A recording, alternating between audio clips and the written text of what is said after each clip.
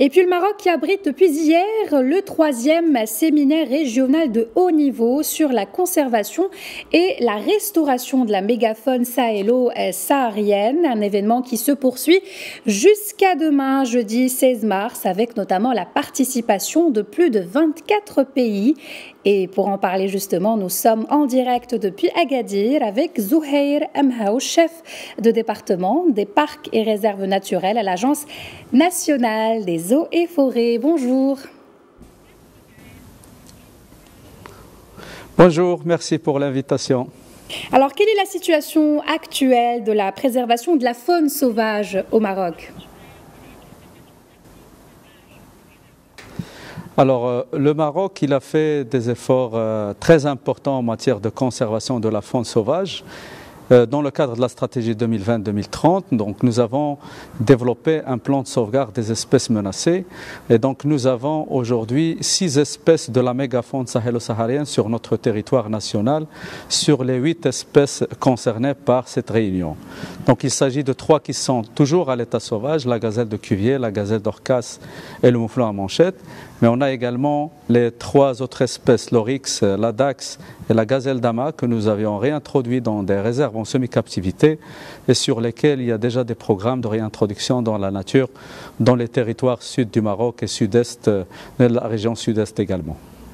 Alors en quoi consiste ce programme ou cette stratégie forêt du Maroc à l'horizon 2020-2030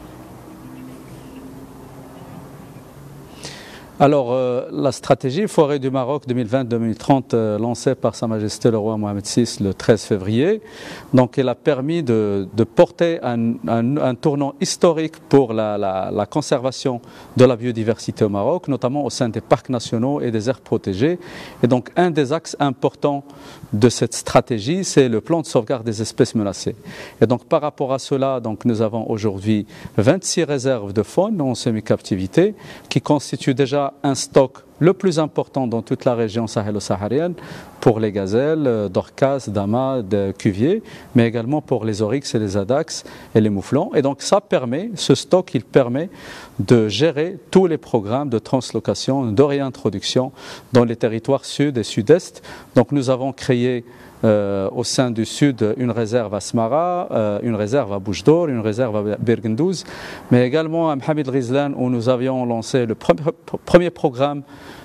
euh, au niveau international de réintroduction de la DAX dans le parc national d'Iriqi.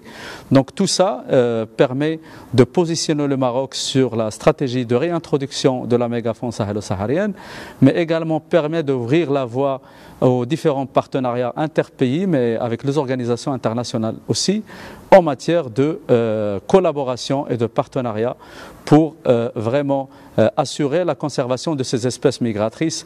il ne faut pas oublier que ça, c'est des espèces qui se déplacent sur de longues, euh, de grands espaces et euh, l'importance de la collaboration interpays pour que ces espèces migratrices assurent euh, leur, leur conservation dans un état de conservation favorable.